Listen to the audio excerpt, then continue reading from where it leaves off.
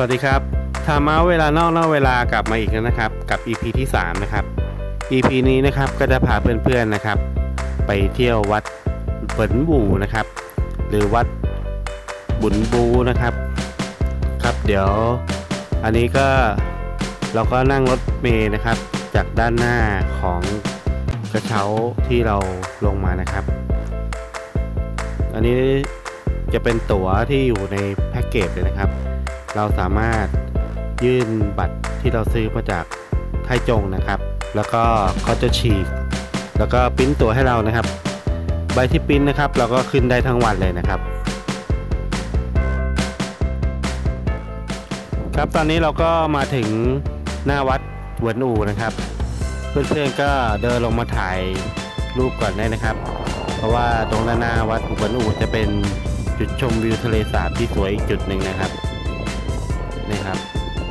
ระอาทิตย์ใกล้จะตกนะครับ แสงก็สะท้อนน้ำนะครับ ค่อนข้างจะสวยงามนะครับ แล้วก็ตรงนี้นะครับจะเป็นจุดที่เขามาผูกกระดิ่งตามวันวันเดือนปีเกิดนะครับ แต่ช่วงนี้เขาปิดนะครับ เข้าไม่ได้นะครับ อันนี้เขาปิดเลยนะครับครับ เดี๋ยวเราก็จะไปเดินในวัดกันนะครับ ครับเดี๋ยวจะพาเพื่อนๆไปชมด้านในนะครับ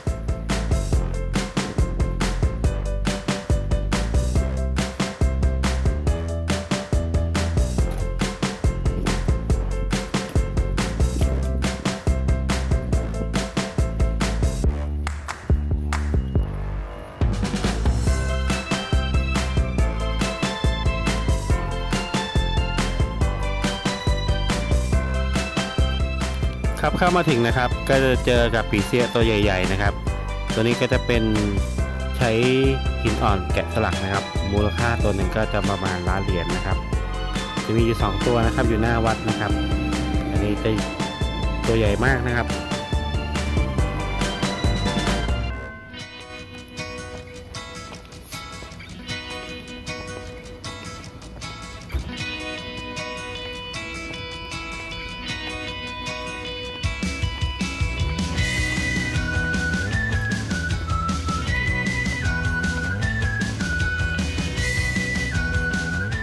ครับพอขึ้นมาประตูชั้นแรกนะครับ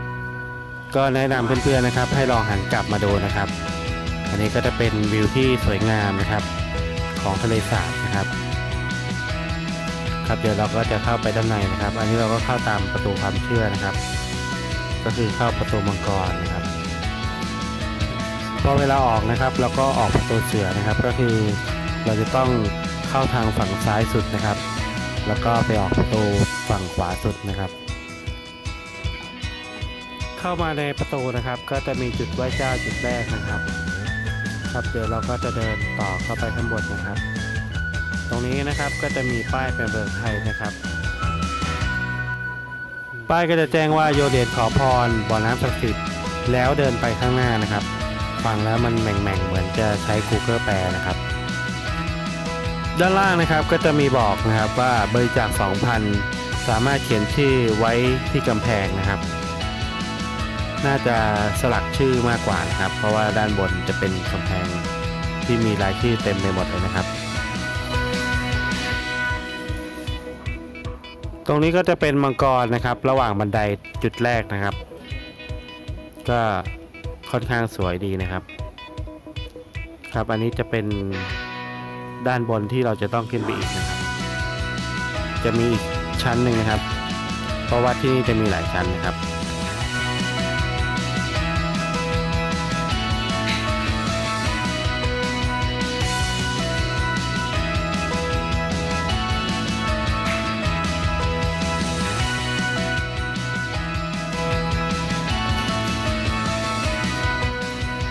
ครับฝั่งด้านซ้ายของวัดนะครับ เข้ามานะครับ ฝั่งนี้ก็จะเป็นห้องน้ำนะครับ เพื่อนๆนะครับสามารถมาเข้าห้องน้ำฝั่งนี้ได้นะครับ แต่ช่วงเรามาพอดีทัวร์มันลงนะครับกลิ่นมันจะแรงนิดนึงนะครับ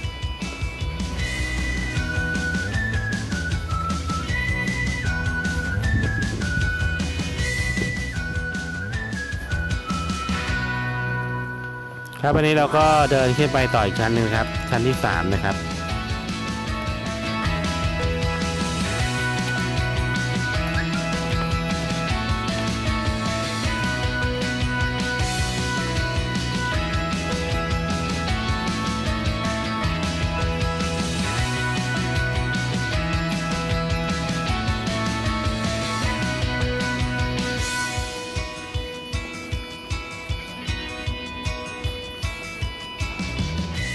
ครับชั้นที่3นะครับพอขึ้นมานะครับ ตรงราวบันไดตรงนี้นะครับ ก็จะมีมาปลูกกระดิ่งนะครับ แล้วก็มีกระถางทูบนะครับสำหรับเพื่อนๆที่จะมาไหว้เจ้านะครับนี่ก็จะเป็นบรรยากาศด้านในของศาลเจ้านะครับ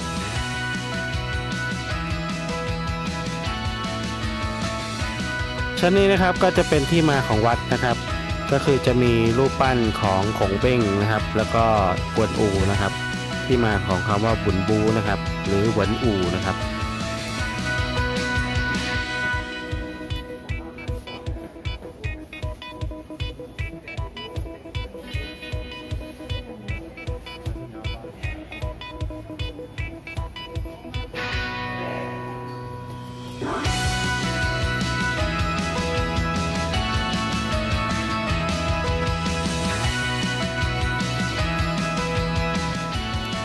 ครับฝั่งด้านนี้นะครับก็จะเป็นพวกของที่ระลึกนะครับ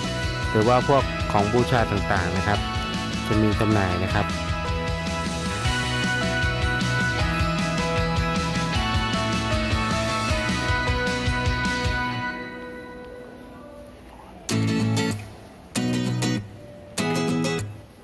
สำหรับฝั่งด้านนี้นะครับก็จะเป็นอ่างล้างมือนะครับสำหรับเพื่อนๆที่ไหว้เจ้าเสร็จนะครับ ก็มาล้างมือได้นะครับ ที่นี่เขาค่อนข้างจะใส่ใจนะครับ เพราะว่าพอเราจับทูบมันก็จะเลอะมือนะครับ ก็จะมีอ่างล้างมือให้นะครับชั้นฝั่งนี้นะครับ ก่อนจะขึ้นไปที่ชั้นที่ 4 นะครับกำแพงก็จะเป็นศิลปะนูนต่ำนะครับ แล้วก็ตรงกลางบันไดนะครับ ก็จะไม่เหมือนชั้นแรกนะครับ อันนี้ก็จะเป็นประมาณหงฟ้างครับ แล้วก็ใส่เล่นสีด้วยนะครับ ค่อนข้างจะสวยนะครับ เดี๋ยวเราก็จะขึ้นไปชั้นที่ 4 นะครับ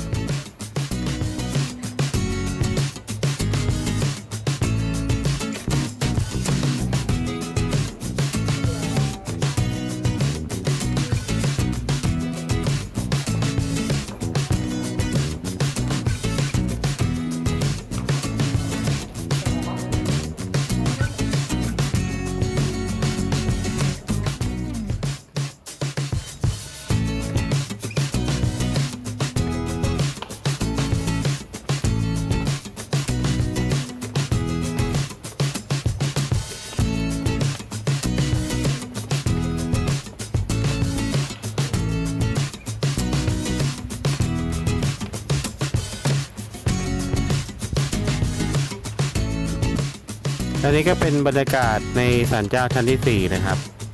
ก็เช่นเคยนะครับ ตรงราวบันไดก็ยังคงเห็นนะครับ มีคนเอากระดิ่งนะครับ มาแขวนเหมือนเดิมนะครับ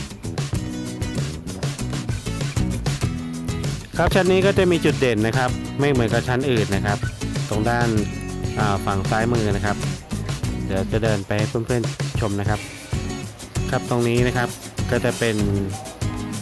เทพแห่งความรักนะครับอันนี้จะเป็นรูปปั้นนะครับ แล้วก็มีรูปที่ติดนะครับ เป็นคนที่สมหวังความรักนะครับ แล้วก็มาเอารูปมาติดเนี่ยมีคู่รักคู่หนึ่งนะครับ ก็เดินเข้ามานะครับ แล้วก็เข้ามาไหว้คำนับสามทีนะครับ แล้วก็ออกมาเลยนะครับ ครับอันนี้ก็เข้าไปขอพรในเรื่องความรักนะครับ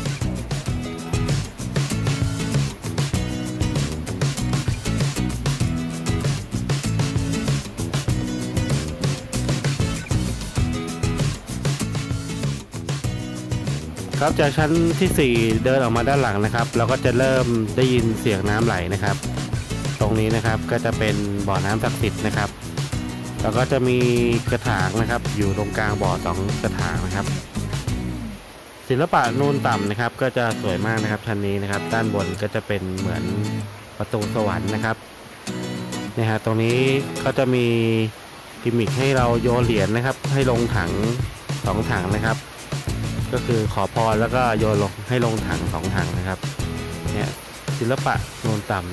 ำตัวนี้ค่อนข้างจะสวยนะครับ ครับอันนี้ก็คือก่อนที่จะขึ้นบันไดนะครับ ก็จะมีบ่อน้ำศักดิ์สิทธิ์นะครับ แล้วก็จะมีกระถางสองกระถางเวลาเพื่อนๆมาก็โยนเหรียญได้นะครับ โยนให้เข้ากระถางนะครับอธิษฐานก่อนแล้วก็โยนให้เข้านะครับ ด้านบนนะครับก็จะทำเหมือนประตูสวรรค์นะครับ ครับด้านหลังนี้ค่อนข้างสวยสวยงามมากครับ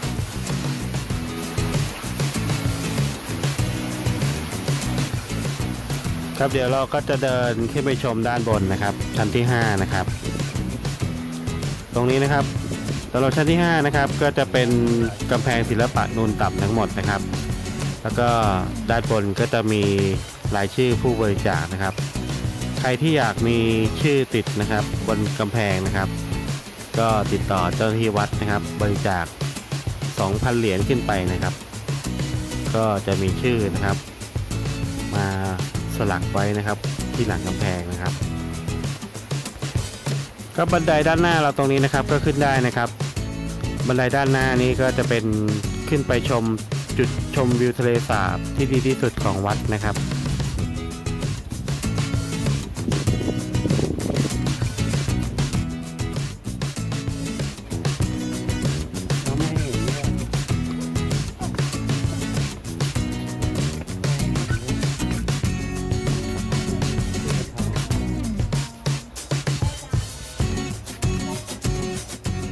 กำแพงตรงนี้นะครับก็จะเริ่มเห็นรายชื่อผู้บริจาคนะครับ ตรงนี้ก็จะมีชื่อคนไทยด้วยนะครับ เดี๋ยวจะพาเพื่อนๆไปชมนะครับ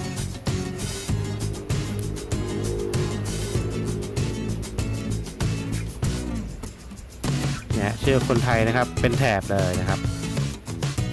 เยอะมากนะครับ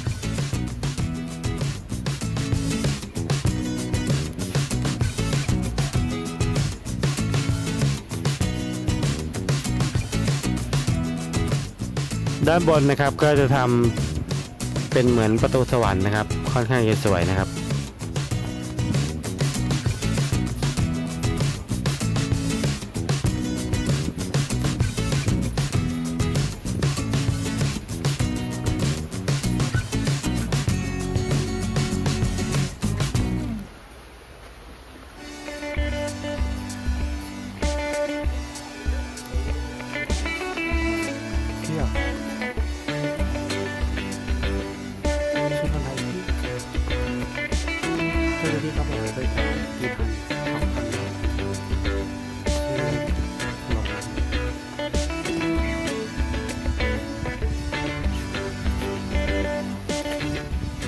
ครับมังกรเหนือบ่อน้ำตรงนี้นะครับ แกะสลักสวยมากนะครับ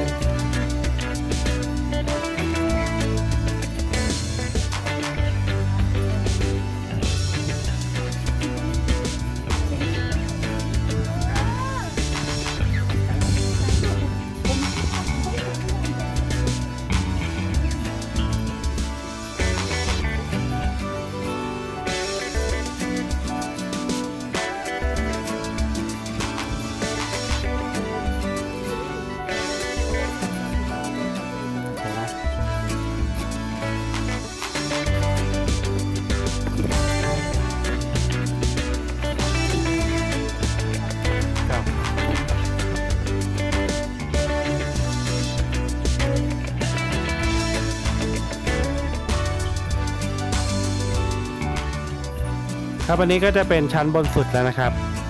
ก็จะทำเป็นประตูสวรรค์นะครับ แล้วก็ด้านหลังนะครับ ของประตูก็จะเป็น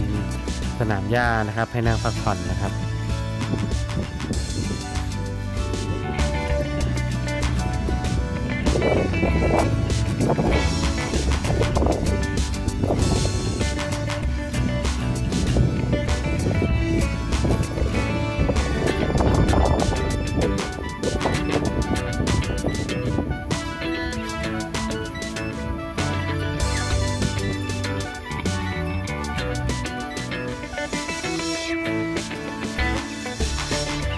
บนหลังคาศาลเจ้าด้านหน้าเรานะครับ ก็จะเป็นจุดชมวิวที่ดีที่สุดของวัดนะครับ ก็จะมีสองฝั่งนะครับของศาลเจ้านะครับ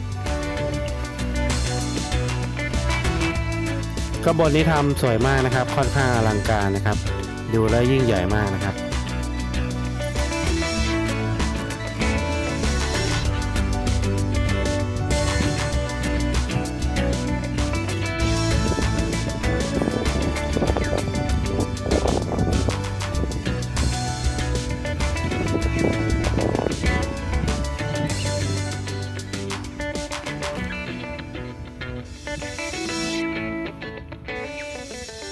ครับตามเสาที่เป็นรูปมังกรนะครับ ผมค่อนข้างจะชอบนะครับ ครับอันนี้ก็เป็นบรรยากาศนะครับ ด้านบนของวัดนะครับ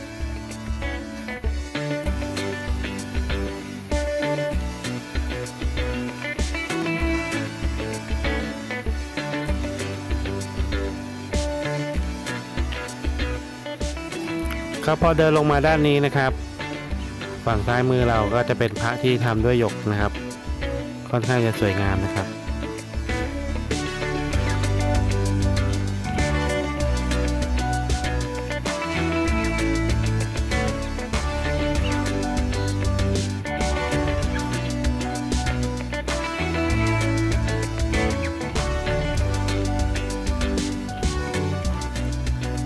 ครับเดี๋ยวเราก็เริ่มเดินลงไปด้านล่างนะครับ เพื่อที่เราจะกลับไปที่โรงแรมที่เราจองไว้นะครับ เพราะว่าเราฝากกระเป๋าเฉยๆยังไม่ได้เช็คอินนะครับ ครับยังไงก็ขอบคุณเพื่อนๆที่ติดตามชมนะครับ ฝากกดติดตามนะครับ กดกระดิ่งนะครับ กดไลค์นะครับ แล้วก็กดแชร์ให้ด้วยนะครับ เพื่อเป็นกำลังใจในการทำคลิปใหม่ ๆ ออกมาให้โอเคเพื่อนๆชมนะครับ ผม ขอบคุณที่ติดตามชมนะครับ